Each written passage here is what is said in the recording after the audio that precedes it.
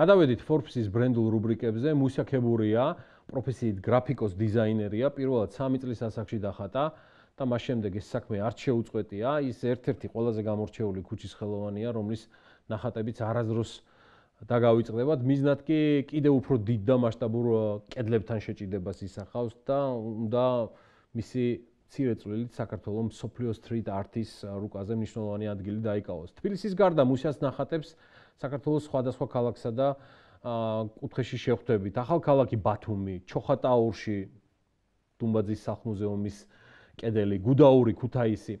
საქართველოს გარდა კვალი უკრაინაში, ნორვეგიასა და ლისაბონშიც კი დატოვა.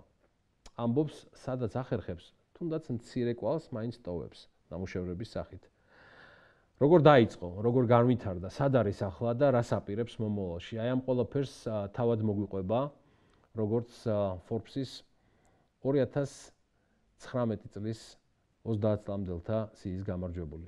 მარიამ ადამიანის რუბრიკა Forbes 30 under 30.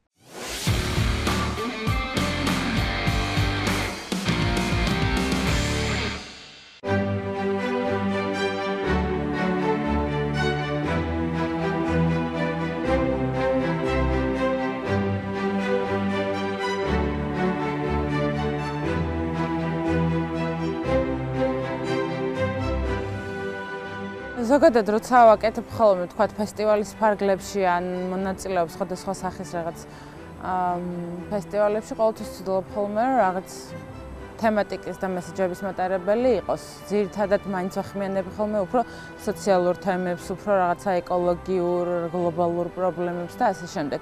აა რაც შეეხება ჩემს პირად სხვა პროექტებს, მანდ უკვე დამოკიდებული არის თვითონ დამკვეთიდან რა თემატიკა წამოვა, იმის მიხედვით ვფიქრობ ხოლმე კონცეფციაზეც, იდეაზეც და შესაბამისად ესკიზებზეც. ადრე, როდესაც ვაკეთებდი ხულიგნურად ეგეთ ნამუშევრებს, ძალიან ბევრი რაღაც ესეთი ჩემი პროტესტის გამოხატვა და რაღაც პრეტენზიები იყო, რომელიც გამოჩნდა იმ ყოფასთან და იმ მდგომარეობასთან, იმ დროებასთან, რომელიც თავისთავად ვეხმიანებოდი იმ პერიოდში. რაც შეეხება ახლა, ყოველთვის ვცდილობ ხოლმე, რომ თუნდაც ეს გლობალური პრობლემები იქნება, ეს სოციალური თემატიკა იქნება თუ ეს რაღაცა ეკოლოგიური პრობლემები, ყოველთვის გამოვხატა იმ კუთხით, რა რა კუთხითაც თქვა ადამიანებზე მოახდენს რაღაცნაირ ზეგავლენას ხატვარი, რომელიც კედლებზე ხატავს და ხატავს გარეთ.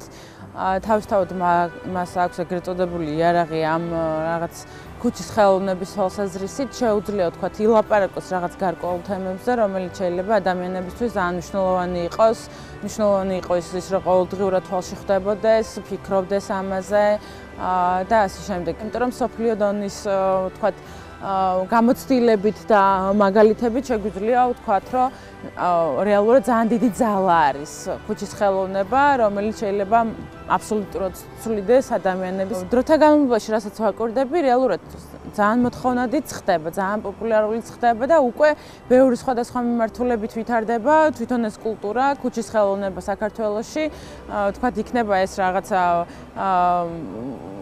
ჩვეულებრივად ხულიგნურად დახატული თუ ფესტივალებით უზარმაზარ კორპუსებზე მიურალების სახით წარმოდგენილი, რა თქმა უნდა, ერთ აზროვანი არ არის დამოკიდებულება და ყოველას თავისი შეხედულება და გემოვნება აქვს, ისე რომ რაღაც ყველაფერი უნდა მოიხატოს თავისთავად არ მგონია სწორი, იმიტომ რომ ამ ქუჩის ხელოვნებასაც თავისთავად თავისი დანიშნულება აქვს, აა დაიხატება რა დაიხატება როგორ დაიხატება ასე შემდეგ ყველაფერს რაღაცა თავისი მიზანი და თავისი რაღაცა ეს უნდა კონდეს დატვირთვა შესაბამისად.